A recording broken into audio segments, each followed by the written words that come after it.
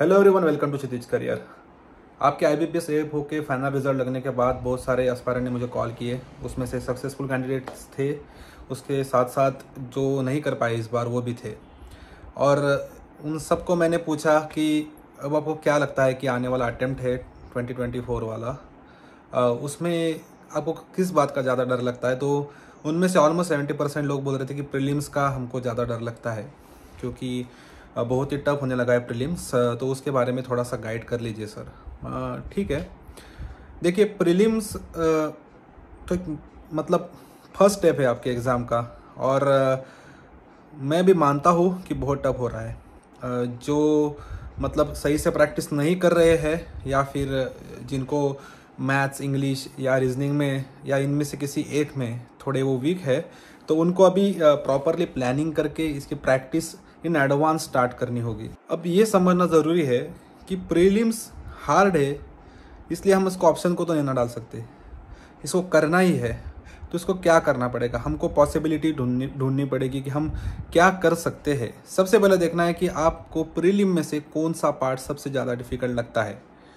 Suppose it is maths suppose it is reasoning suppose it is English जो भी है, उनमें से जो इम्पोर्टेंट टॉपिक्स है टाइप ऑफ़ क्वेश्चन अभी पूछे जा रहे हैं या फिर टाइप ऑफ़ मतलब जो भी पैटर्न पूछा जा रहा है, उसको थोड़ा सा एनालिसिस उसका करना है और उस तरीके के एग्जाम्पल्स आपको लगातार सॉल्व करने हैं। देखिए, ये प्रीलिम्स का जहाँ तक सवाल है, इसमें प्रैक्टिस मैटर्स लॉट क्योंकि विदाउट प्रैक्टिस आप प्रीलिम्स तो भूल ही जाइए। Prelims is a game of practice मैंने भी बहुत सारे प्रीलिम्स दे रखी है मतलब जहाँ पे ये सब मैथ्स इंग्लिश रीजनिंग आता है।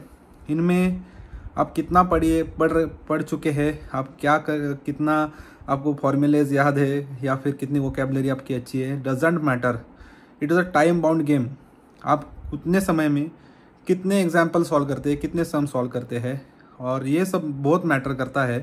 तो प्रैक्टिस इज़ द की तो मैं ये कहता हूँ कि एक बार सारे बेसिक रिवाइज कर लीजिए और लग जाइए प्रैक्टिस में। जितने भी जहाँ से भी एग्ज़ाम्पल मिले जहाँ से भी अ, कोई भी क्वेश्चंस मिले जो भी मिले जो भी सोर्सेस मटेरियल मिले बस करते रहिए करते रहिए। इतना होना चाहिए आपका मतलब उतनी प्रैक्टिस आपकी होनी चाहिए कि जैसे आपका फाइनल पेपर आएगा तो आपके लिए एकदम वो स्मूथ होना चाहिए ये सब जर्नी आप जितना प्रैक्टिस करेंगे जितनी नेट प्रैक्टिस करेंगे उतनी ही आसानी से आप जो आपका फाइनल एग्ज़ाम है मतलब जो प्रीलिम्स है, वो आसानी से क्लियर कर पाओगे। यही एक ही सॉल्यूशन है, बाकी किसी सॉल्यूशन के पीछे मत भागिए। इफ़ेक्टिव स्टडी कैसे करना है, वो मैं बताऊँगा। बट क्या सीक्रेट है प्रीलिम्स का? ये जो प्रैक्टिस है, यही सीक्रेट है। कितने भी आप वीडियो देख लीजिए, कितने भी कोचिंग वालों से पूछ लीजिए, कोई फ़र्क नहीं पड़ता है। ये एक जो प्रैक्टिस का जो मतलब प्रैक्टिस को अल्टरनेट कोई नहीं है। प्रैक्टिस तो करना ही पड़ेगा चाहे दो चार टाइप के क्वेश्चन आपको मतलब उसके फॉर्मूलेज हो या फिर कुछ जो भी है, उसका जो बेसिक्स आपको पता नहीं है, चलेगा। बट जो भी आपको पता है, जो भी आपने पढ़ लिया है, उसमें आप एकदम मास्टर होने चाहिए। उसके लिए प्रैक्टिस के सिवा दूसरा कोई ऑप्शन है नहीं। तो प्रैक्टिस इज़ अ की ऑफ़ प्रीलिम और ज़्यादा से ज़्यादा मॉक टेस्ट दीजिए। ज़्यादा से ज़्यादा प्रीलिम्स रिलेटेड स्टफ़ सॉल्व करते रहिए। आसानी से आपका प्रीलिम्स क्लियर हो जाएगा। जहाँ तक कि आई बी पी का सवाल है किसी भी बैंकिंग एग्ज़ाम से बहुत ही एकदम सिंपल प्रीलिम है। मैं as compare to other banking exam की बात कर रहा हूँ, यहाँ पे नहीं तो आप सब बोलोगे कि कैसे इतना इजी है।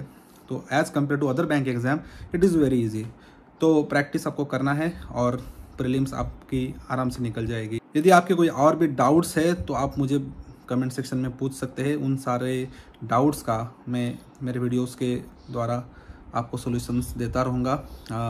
मेरे चैनल को सब्सक्राइब करिए, मेरा जो यूट्यूब चैनल है और मेरा टेलीग्राम ग्रुप है, उसको भी ज्वाइन करिए। उसकी जो लिंक है, वो मैं डिस्क्रिप्शन बॉक्स में दे रहा हूँ। Thanks for watching this video have a nice day